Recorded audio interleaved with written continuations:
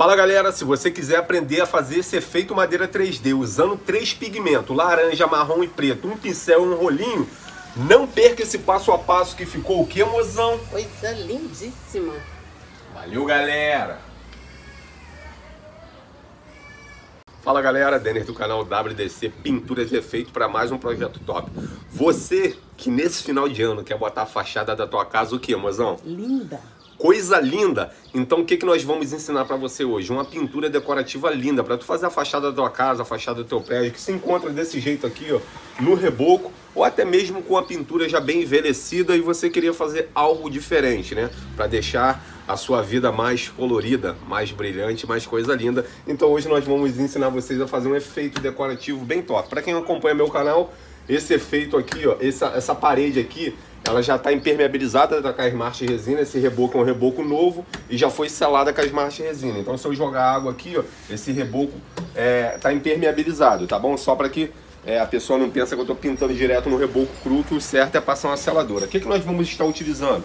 Simplesmente tinta e pigmento. Qual tinta você está utilizando? Você utiliza a tinta que você quiser. Eu estou utilizando a Elastamente Smart Resina Color. O que, que é isso? Ela é uma tinta bem top, tá? Ó, vou falar, ela é uma tinta aplicável sobre concreto, telhados, paredes, drywall, gesso, massa corrida, massa acrílica e etc. Ela é anti-mofo, evita fissuras, diminui a sujidade, é impermeabilizante e tem tecnologia high fresh. Caramba, até em inglês eu tô falando. Então você vai encontrar esse produto no site www.escutovelho.com. E eu ainda vou deixar na descrição um cupom de desconto que se você quiser comprar, você ainda vai ter um desconto. Olha aqui, a tinta ela vem assim, tá, ó. É uma tinta bem homogênea, bem top. Se você quiser botar um pouquinho de água, você bota aí e dilui. Eu não, eu gosto de trabalhar com ela bem assim mesmo, que é para ter uma cobertura legal. Vou fazer uma base, como vocês sabem, eu gosto muito do ocre, né? Vou fazer uma base ocre na tinta aqui, ó. Ó, ó que top. A pigmentação que já pegou. E a gente vai ensinar vocês um efeito decorativo que vai ficar muito lindo, tá? Para que vocês possam aí embelezar seu muro, sua parede, sua sala de estar. Enfim, aqui eu tô mostrando na área externa mas você utiliza onde você quiser, tá? Esse tom pra mim tá bom, quero um tom mais claro, eu não quero um ocre muito fechado, tá? Eu quero esse tom aqui, tá excelente pra mim. Como aqui, se vocês verem, eu tenho um gesso aqui do lado, tá vendo? A gente tem um gesso aqui, eu vou fazer um recorte aqui, ó. A gente vai, vai entrar aqui, ó, com recorte, ó. Pra que a gente não suje esse gesso, tá? Eu tenho, eu tenho esse trabalho desse gesso aqui, esse gesso é um gesso cru que está simplesmente hidrofugado e impermeabilizado, então está um gesso à prova de água. Aqui vai ser uma área de chuveirão, a gente vai ensinar vocês a fazer algo bem legal aqui também. Vai, vai ter um deckzinho aqui ó, pra gente tomar banho, então vocês vão ver que vai ficar algo bem diferenciado. E hoje, para completar essa faixa da parede, a gente vai estar tá fazendo um efeito decorativo que vai ficar o que, mozão? Coisa linda. Então o que, que eu vou fazer? Eu vou recortar toda essa parede, igual eu tô mostrando para vocês aqui, ó, com um pincelzinho, ó. Com essa tinta aqui, que já é uma tinta impermeável, né? Ó. Olha a cobertura da tinta. Chega aqui pertinho, mozão. Pede requinte. Uma única demão. Pede requinte. requinte de detalhe, mozão. Ó. Uma única demão da tinta. Olha a diferença. Às vezes você vai comprar uma tinta de baixa renda que você vai ter que dar 650 demão para fazer uma cobertura. Vai ter que dar, brincadeira, mas vai ter que dar pelo menos de 4 a 5 demão para ter uma cobertura. Diferente de uma tinta de boa qualidade que você aplica uma demão só e fica top. Não estou dizendo que eu vou dar uma demão só, estou dizendo que com uma demão a cobertura que já está tendo. Vou aplicar aqui em cima dessa parte que está branca. Você vai falar, ah, ali é mole, ó. Vamos ver se cobre essa parte branca aqui. Eu vou pintar com um rolinho, tá, galera? Aqui eu só estou fazendo um recorte com um pincel. Só para que vocês vejam, ó. Cadê a mancha branca que estava aqui? Ó, a cobertura da tinta. Com requinte, tá? Porque aqui ó. tem. Entendeu? Então o que, que eu vou fazer? Eu vou dar essa base, a base vocês sabem, eu vou dar uma base nessa parede inteira na coocre, tá? E na sequência que vem o grande truque de mestre aqui, que a gente vai ensinar vocês a fazer um, um desenho para um efeito diferenciado. Beleza? Então já já eu volto. Ó, depois de ter pintado esperado a tinta secar, é uma, uma ponderação para fazer, essa tinta aqui seca muito rápido, tá, galera? Meia hora a tinta já tá seca, porém o Rio de Janeiro é muito calor, mas com meia hora dei duas demãos, tá? E tô fazendo esse desenho, tá? Vai ser um efeito madeira com desenho 3D, vocês já estão enxergando o desenho? Como é que eu cheguei nesse layout aqui, ó? Tô falando pela minha parede, cada um com a sua parede. A minha parede tem um metro de largura. Eu dividi esse um metro, ó. Deixei 40 para cá e 40 para cá e fiz duas faixas de 20 no meio. Essas duas linhas aqui tem 20. Ou seja, ficou 40 de um lado e 40 do outro. Essa faixa, você que define o tamanho. Quanto maior a sua parede, mais fácil de fazer. Aqui a minha está muito em pé e é muito curto o meu ângulo. Então me dificulta um pouco, mas mesmo assim eu estou conseguindo fazer. Ó. Entendeu? Minha parede tem um metro, deixei 20 no meio e 40 para cada lado. Agora o que, que eu faço? Eu quero a minha com 20. Eu venho aqui, ó, pego dessa linha aqui para cá, ó, tá vendo? Vem aqui, mozão, ó, e 20. Tá vendo? Marquei 20 dessa linha aqui, dessa para essa, 20. E o ponto que eu tenho que ligar é aqui, ó. Agora a gente vem aqui, ó, e liga um ponto no outro, ó. Pela essa base minha aqui de 20 que eu tenho aqui, ó, encostei e eu venho aqui, encosto aqui, ó, ó, ó, ó. Sempre deixando esse ponto meu aparecer, ó. Tá vendo? Venho aqui, ó, ligo com 20 aqui e pronto, ó. E a gente dá uma conferida aqui pra ver se tá certinho no 20 que a gente quer, ó. Se não tiver, tu desce um pouquinho à toa, pronto, ó, já tá no 20. Agora a gente vem aqui e liga um no outro, ó. Vamos ligar aqui um no outro, ó. Bem fácil, galera, ó, não tem errada. Pronto. Liguei um no outro, tá vendo? E aqui sucessivamente. A gente vai vir aqui, vai marcar 20 aqui de novo. E agora eu já ligo desse ponto aqui, ó, pra cá. Tá vendo? Eu vou ligar daqui pra cá e depois eu ligo daqui pra cá e vai dando esse desenho que você tá vendo. Aí você esquece essa linha aqui, ó, que isso aqui depois é apagado, tá vendo? Isso aqui é só uma referência que a gente tem da linha do meio. Isso aqui você tira, isso aqui você tira e você vai ficar com esse layout montado. Então vou fazer toda essa sequência de desenho até embaixo e depois volto mostrando qual é o próximo passo para vocês verem. Quem não quiser fazer esse desenho e achar que é complexo, faça madeira assim, ó, atravessada. A gente só quer mostrar um desenho diferente para vocês, beleza? Ó, depois que eu fiz todas a minha marcação do meu desenho, o que, que eu estou fazendo? Eu estou fitando. Lembrando que eu sempre deixo a marca do lápis aparecendo. Claro que depois nós temos que sobrepor fita, tá? tá? Pra gente fazer junta seca, ó. A fita você escolhe a fita da grossura que você quiser, ó. Tá vendo? Eu venho aqui, ó, deixo um pouquinho para fora pra, pra essa marca do lápis aqui, ó, a, a tinta cobrir ela, ó, tá vendo? E agora é a parte mais fácil, que já está tudo demarcado. Se você tiver habilidade para já fitar direto no desenho sem precisar marcar, beleza, mas eu acho meio difícil, que a gente usa trena, né? Usa toda uma medida. E assim sucessivamente a gente vai levando, tá vendo? Venho daqui para cá agora e marco a fita. Ó, sempre assim, ó. Sempre deixando a linha do lápis aparecer, ó. Tá vendo? Para aqui, ó, corta. E sucessivamente eu vou fazendo esse desenho. Depois que eu fitar tudo, olha o desenho como é que já está ficando bem legal. A gente vai pintar, vai ficar umas madeiras é, em 3D.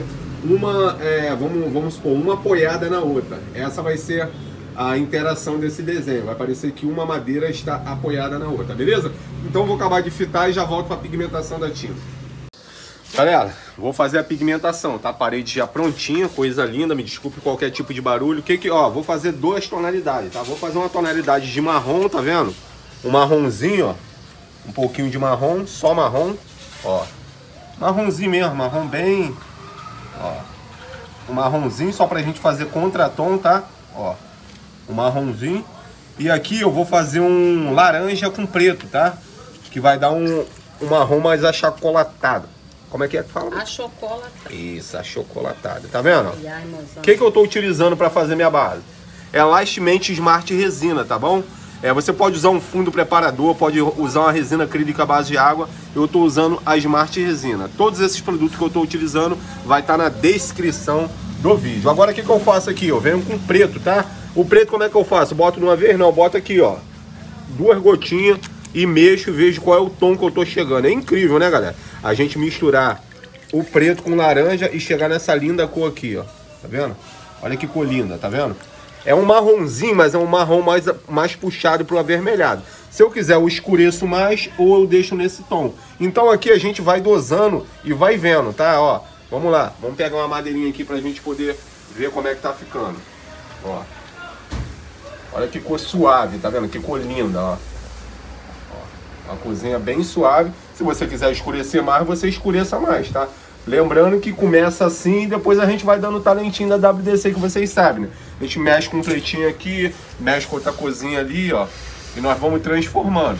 Sempre intercala a tua cor. Ou se você quiser, você pinta direto, tá?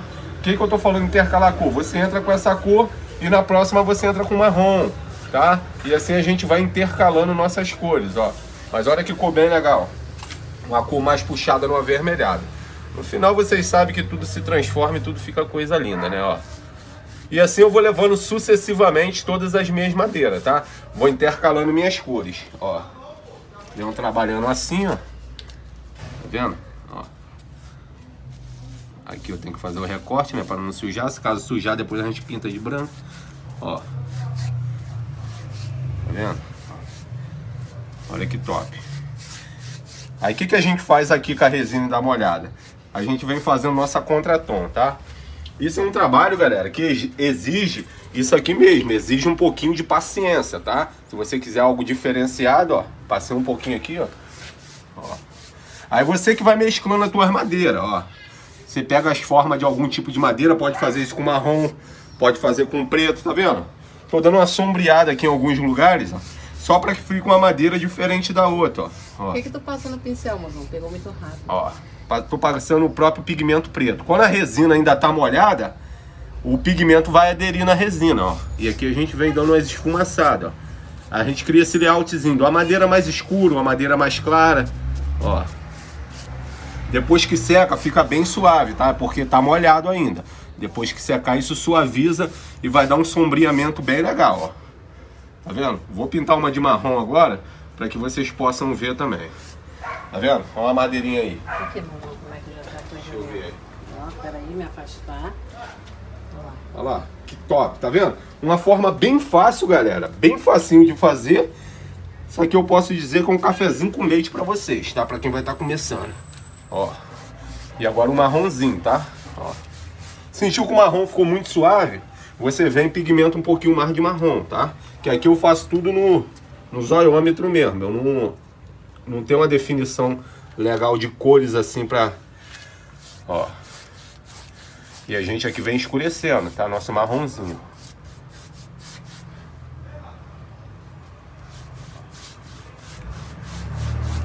Então o que, que eu vou fazer? Eu vou pintar sempre de marrom e essa outra cor. Tu não lava o pincel? Não, porque o interessante é a mesclagem que vai dar. Nenhuma madeira é igual a outra. Eu quero essa diferença mesmo, de uma mesclação. Entre o marrom e aquela outra mais avermelhada. Lembrando que no marrom eu vou fazer a mesma coisa que eu fiz ali no mais avermelhado. Vou dar um contratom de preto ou de marrom mais escuro Vou mostrar para vocês aqui também, que eu vou fazer essas duas e vou dar uma adiantada. O que eu tô fazendo nessa, eu vou fazendo nas outras, tá bom? Só que eu vou trabalhando de madeira a madeira, tá? Cada madeira eu já vou trabalhando. Quando eu chegar, eu já, já finalizei tudo. Ó. Fiz nessa aqui, ó. O que a gente faz agora? Mesmo, me, mesma coisa. Vem aqui, ó, com um pouquinho de preto, ó. ó. Passei aqui, ó. E a gente, ó, dá uma intercalada. Aí faça uma assim, a outra não só para dar esse contratom. Você também pode fazer com marrom, tá? O que eu tô fazendo com preto, eu vou fazer com marronzinho para você entender, ó, o marrom mais escuro. Tá vendo? Você pode vir aqui na borda, ó, e dar um marronzinho mais escuro, ó. Aí na hora que a gente tirar todas as fitas, fica um contratom bem legal, tá? Ó, olha como é que já deu uma mesclada diferenciada. Aí a mozão mostrando. De uma para outra, tá vendo? Uma mais avermelhada e a outra mais marrom. Aí vai ficando nesse contratom. E a cor você escolhe a cor que você quiser. Você faça cinza, você faça azul, você faça amarelo. Então agora eu vou dar uma adiantada e daqui a pouco eu trago mais um pouco. Ó, terminei a pintura, tá? Ficou dessa forma. Vou explicar por que, que eu quis escuro. Aqui é uma área que bate muito sol e chuva. E o que, que acontece? Quanto mais claro, mais de bota mais rápido. Então essa cor escura, daqui uns 6, 7 meses, ela vai estar tá bem mais clara. Então por isso nós optamos por essa área escura, que vai bater água, vai bater sol e ela vai clarear é, mais, mais rápido. Mas olha o desenho como é que ficou lindo.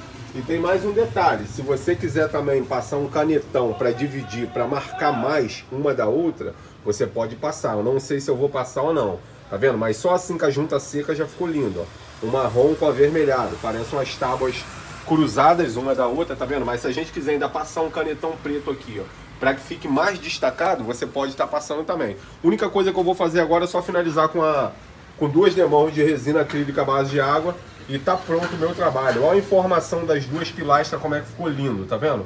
O branco das pilastras com o meio amadeirado. E ali vai sair um chuveirão ali no meio, Vai né? sair um chuveirão ali que vai jogar água para tudo que é lado e vocês vão acompanhar que a gente vai estar fazendo esse chuveirão também mostrando para vocês.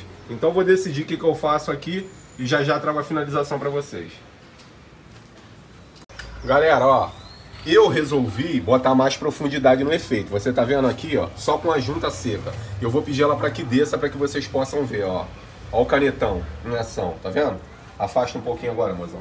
Ó a profundidade que o canetão dá, tá vendo? Parece que a madeira tá sobressaltando. Olha que lindo que ficou com o canetão. Olha aí, ó. Agora tá dando um 3D, tá vendo como é que faz toda a diferença? Esse canetão. E ali em cima, ó, aqui não tem, ó. Eu vou fazer uma aqui para que vocês possam ver, tá? É um canetão permanente, ó. Tá vendo? Marcador permanente, ó. A gente vem aqui. Agora a, a parte que é bem rápida, tá, galera? Porque a gente já tem a, a referência de tudo, ó. Só encosto aqui, ó. Ó, bem certinho na marcação que nós botamos, ó. Encosto, seguro a régua e passo o canetão, ó. ó. Tá vendo? E aí a gente já tem mais uma marca. E aqui eu faço a mesma coisa. Venho aqui, cruzo e fecho todo o ciclo até embaixo, igual vocês estão vendo. E depois que eu fizer isso aqui, eu dou uma demão de resina à base de água incolor, só para acabar de selar o efeito e trazer um pouco mais minhas cores. E o, e o trabalho vai ficar o quê, mozão? Coisa linda. Então daqui a pouco eu já trago finalizado. Eu não vou mostrar aplicando a Smart Resina, mas eu vou dar duas demãos de Smart Resina aqui e já trago finalizado para vocês. Finalização do trabalho, vou deixar vocês mesmo falar como é que ficou. É, vocês mesmo é, fala aí se ficou bom, se não ficou. Eu só vou estar aqui só para ouvir o que, que vocês estão dizendo. Olha isso, mozão mostrando por um todo para vocês, tá? Olha como é que tá ficando top demais, bem lindo, bem coisa linda. Olha aí, como é que ficou. Deu para mostrar aí, mozão? Com amplitude? Com amplitude. E agora nós vamos aproximar, tá? Com requinte de detalhe, que aqui na WDC tem isso, ó. Requinte de detalhes. Olha, olha só como é que aqui tem requinte de detalhe, para que vocês possam ver. Olha o 3D que se formou, galera. Cá, sacanagem não. WDC é foguete mesmo, tem jeito não. Olha aí, cara. Olha isso, toda a profundidade do canetão. Olha todas as madeiras, tá? Cada uma na tua tonalidade. Ó, mostrar uma aqui embaixo, ó. ó. Olha que linda essa aqui, tá vendo? Mesclei três, três tipos de cores, só usei pigmento. Preto, marrom e laranja e uma resina acrílica à base de água. Simplesmente isso, galera. Não foi utilizado mais nada. E o fundo que vocês viram que foi uma tinta na cor ocre e ficou essa obra de arte aí que vocês estão vendo. Olha isso, de lado, ó. Em todos os ângulos que você olha, você vê esse 3D aí que ficou bem coisa linda. Me desculpe o barulho aí, tá bom? Que a gente está na beira da pista aqui, aqui vai ser uma área de chuveirão, igual eu falei para vocês. E acontece de vir alguns barulhos. Desde já agradeço, galera. Like no canal, compartilhe o vídeo, se inscreva, que isso é uma forma de você estar tá ajudando a gente aí, ó. Diz que nota que você dá e que de região que você é para ver onde meu vídeo está atingindo. Um abraço a todos, fique com Deus.